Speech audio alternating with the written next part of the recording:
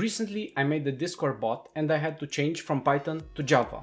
If you want to make your own bot and you are thinking which language to choose, then you have come to the right video. Let's find out together with the comparison between Python and Java. By the way, if you're curious about seeing the experience that I'm describing, then you can check this link popping up right now.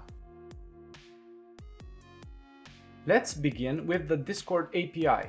This means the interaction interface between our application and Discord servers.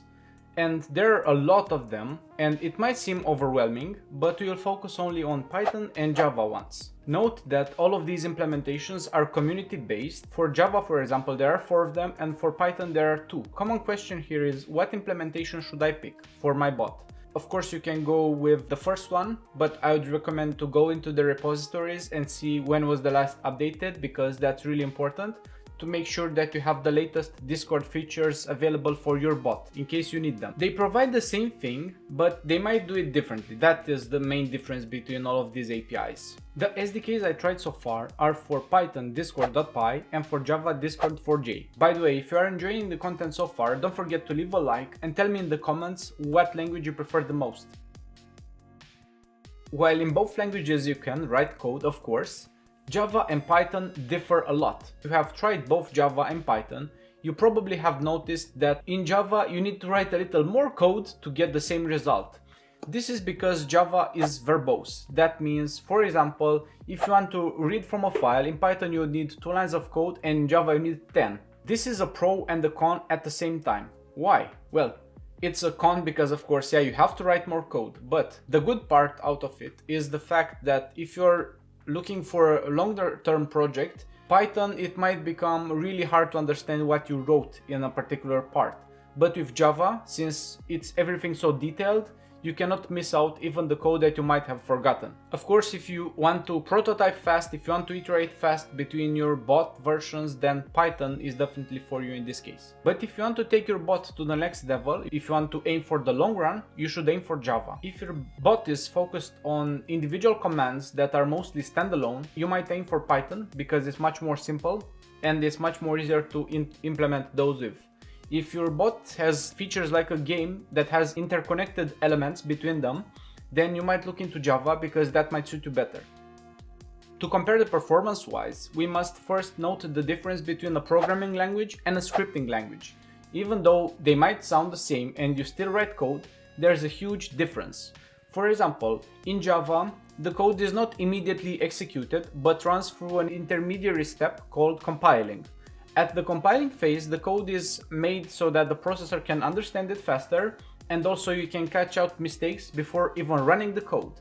In Python, the code does not get compiled, but it's executed at runtime.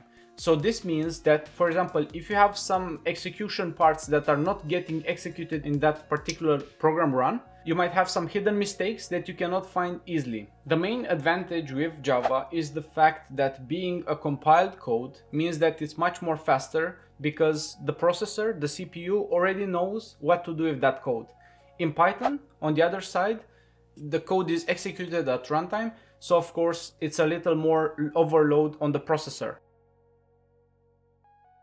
Both languages offer a variety of deployment options, be it Windows, macOS, Linux, and more. This is why they're so popular, because you can deploy them virtually everywhere. Python is very easy to deploy. You just copy paste the code from your PC to the server and it will almost work. Of course, it might have some dependencies, but luckily we have a quick solution that will resolve all the dependencies provided by Python. In Java, it's not so simple. And we have these tools called build automation tools like Maven or Gradle. They can help you a lot with the build process, but they'll take time to learn. In order to execute a Java program, you need to make this jar file containing all the information needed. The problem is it doesn't contain everything. But I found a solution to make a jar that contains all the dependencies and it's called shadow jar. So you can easily create a Java application and compile it into a jar file using shadow jar and you'll make sure that all the dependencies are included as well. But what about mass scaling? Thousands of servers benefit them. So how can they mass scale? Of course, they need to be efficient. This is one of the most important parts. And this can be achieved mostly with Java because of its compiled code, which means the performance is high, but also Discord4j and some other Java frameworks offer this reactive programming, which is a little more hard to understand than regular programming, but it does provide an efficient use of the resources that the PC that you want to deploy on has. Of course, if not, if you just deploy the server, you'll need more instances, which in turn they cost a lot of money.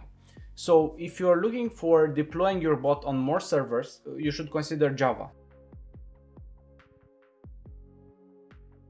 Both Java and Python are great languages. They both have pros and cons and there is no absolute winner. Of course, the winner is based on what is your need. These are my recommendations that you, if you want to prototype, if you want to deploy a bot only for your server, if you are aiming for a bot that only has independent commands, if you want to make it fast, you should go for Python. If you want to mass scale produce a bot, if you want to make a, a game bot which has different components that are interconnected, and you want to make that code reliable as possible, then you should aim for Java. I'm curious to see your feedback regarding these languages and what suits you more, and of course if you have other recommendations. I'm Adrian and I'll see you in the next one.